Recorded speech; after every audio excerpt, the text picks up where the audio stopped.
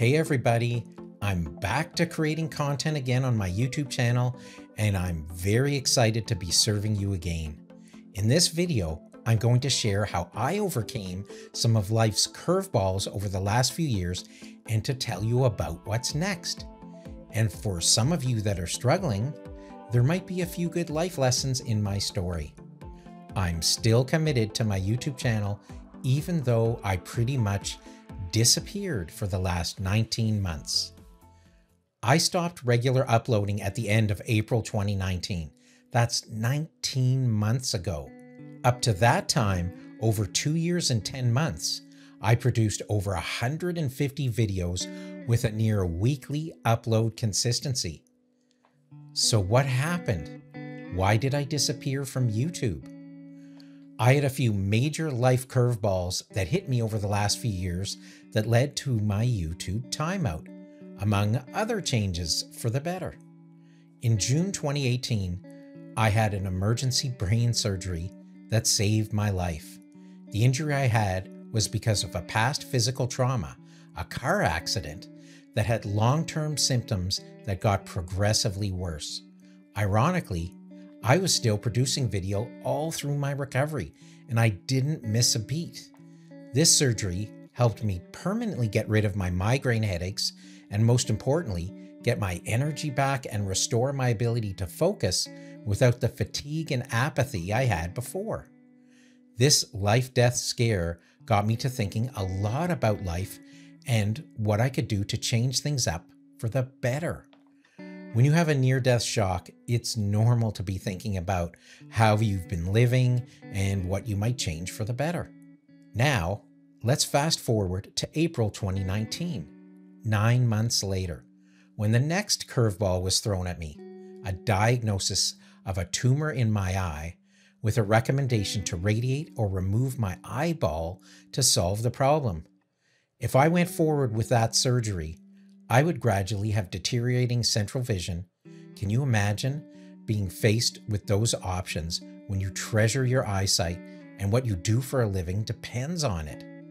So, with the fear of cancer and metastasizing risks ringing in my head, this diagnosis sure got me to hit the skids and take a real time out to evaluate how to move forward in life.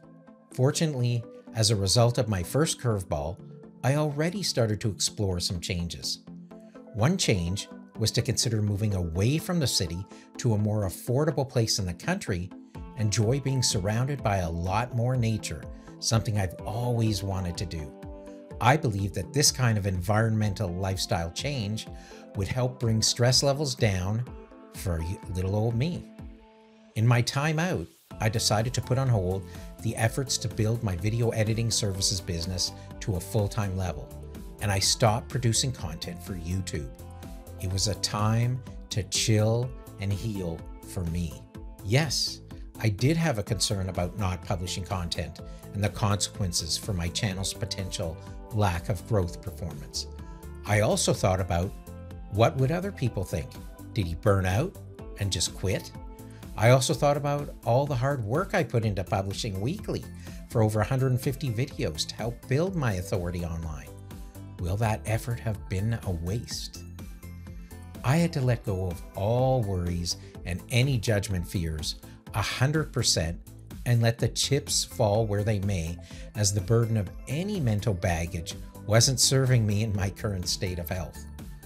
I then reminded myself that I'm on YouTube to serve and I own setting my goals and making progress, not others. And in the process, I grow my video coaching, consulting, and editing services business along the way. I'm not on YouTube to let the stats validate who I am. The stats are just external numbers that I don't have much control over what happens once I publish something. I decided that I would return to YouTube when my passion for creating and serving returned and I was in a much better state of health. During my time off, I did a lot of research, had many health consultations, and experimented with various treatment options. I'm happy to say that I found some tremendous non allopathic treatment solutions for my health issues, and they are working well so far. no eyesight threatening operation required. My healthcare regimen takes one to two hours per day, but I'm coming back nicely. With a working health solution in place, and in theory, overcoming the cancer threat for now, I was also taking on more positive change in my life. I downsized by moving from the city to the country, where I would be closer to nature. I started daily walking and hiking. I even joined a hiking group. But after the Devil's Glen mountain trek, I realized I needed to get in better shape to tackle some of the more aggressive hikes. I joined the local digital creator space and took a whole series of filmmaking classes to enrich my scripting, storyboarding, pre production, planning, shooting, and post production skills. I even learned how to video edit with DaVinci Resolve and shoot with the Blackmagic Cinema 4K camera. I also created two small documentary films and helped as a crew member and producer in a few more short films with the Filmmaking School Group. I even signed up for some painting classes to see how I can settle and focus on another type of creating. As my health improved and I gained more strength and a better attitude, I wanted to push forward with my business and get back on YouTube to serve again.